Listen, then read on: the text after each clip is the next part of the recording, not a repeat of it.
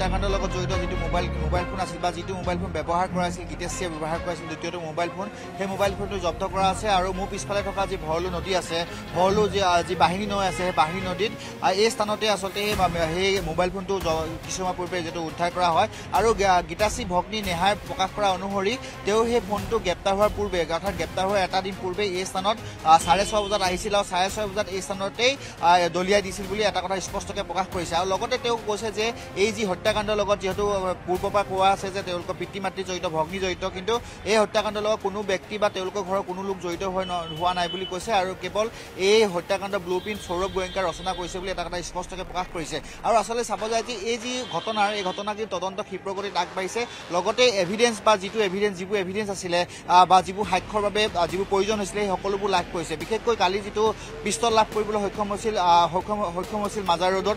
আৰু আজি যিহেতু যি মানিক নগৰ বাহিনী নৈ আছে সেই বাহিনী নৈত ইতিমধ্যে মোবাইলটো জব্দ কৰিছিল। এই মোবাইল ফোনটো আচলতে আহ, গীতাশ্ৰীয়ে ব্যৱহাৰ কৰিছিল দ্বিতীয়টো মোবাইল ফোন হিচাপে আৰু প্ৰথমটো মোবাইল ফোনত যিহেতু অঞ্জনাথৰ লগত কথা পাতিছিল আৰু সেইদিনা যিদিনাখন হত্যাকাণ্ড সংঘটিত হৈছিল সেই হত্যাকাণ্ডৰ দিনাখন সৌৰভ গোয়েংকাৰ লগত দ্বিতীয়টো মোবাইল ফোনত আছিল। আৰু দ্বিতীয়টো মোবাইল ফোন ভগ্নীয়ে যিহেতু গীতাশ্ৰী নিৰ্দেশ মৰ্মে এই স্থানলৈ আহিছিল আৰু এই স্থানলৈ আহি সেই ফোনটো দলিয়াই থৈ গৈছিল। আচলতে সেই ফোনত আচলতে কিবা- নহয় কিবা যে এভিডেন্স বা কিবা কিবা প্ৰমাণ আছে সেয়া সেয়া আচলতে নুই কৰিব নোৱাৰি। তাৰ বাবে হয়তো গীতাশ্ৰীয়ে নিৰ্দেশ দিছিল যে ভগ্নীক এই স্থানত পেলাই থবলৈ কিন্তু আৰক্ষীয়ে সকলোবোৰ পুংখানুপুংখৰে চাব। যিটো মোবাইল ফোনটো জব্দ কৰিছে তেওঁলোকৰ মূল টাৰ্গেট আছিল যে ছদিনৰ আৰক্ষীয়ে জিম্মাত লোৱা হ'ব। তাৰ পিছতেই প্ৰথমতে গানটো অৰ্থাৎ যিটো ব্যৱহাৰ কৰিছিলে যিটো হত্যাকাণ্ড সময়ত যিটো পিষ্টল ব্যৱহাৰ কৰিছিলে সেই পিষ্টলটো উদ্ধাৰ কৰা। দ্বিতীয়টো তেওঁলোকে চাইছিল যে কেনেদৰে মোবাইলটো উদ্ধাৰ কৰিবলৈ সক্ষম হয়। সেই মোবাইলটো ইতিমধ্যে উদ্ধাৰ কৰিবলৈ সক্ষম হৈছিল। আৰু এই মুহূৰ্তত দেখিছে যে বশিষ্ঠ আৰক্ষী থানা সকলোবোৰ যি মোবাইলটো লাভ কৰাৰ পিছত যিবোৰ আচলতে প্ৰাথমিক কাম কাজ সেই কাম কাজ সম্পূৰ্ণ কৰিছে। আৰু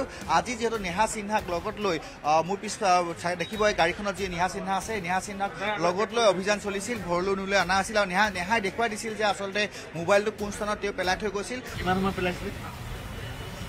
ছিক্স থাৰ্টি মান হৈছে। Six six thirty. আপোনাক মোবাইলটো পেলাব কৈছিল নে আপুনি নিজে পেলাই দিলে? পেলাব দিছিলে সেইকাৰণে পেলাইছে। আৰু মোবাইলটোত আমি তাৰ তাৰ লগত তাই মানে কথা পতা আছিলে মোবাইলটোত। আৰু তাৰ ওপৰত আমাৰ ডাউট আছিলে অলৰেডি সেইদিনাখনে মোবাইলটো পেলাইছিল যিদিনাখন মাৰ্ডাৰটো হৈছিলে নাই সেইদিনা আমি চবে ঘৰত আছো। মানে তেৰ তাৰিখে পেলাইছিলে। যোনদিনা আমাক এৰেষ্ট কৰিছে সিদিনাখন মই বাহিৰত আহিছিলো। তেতিয়া পেলাইছিলো।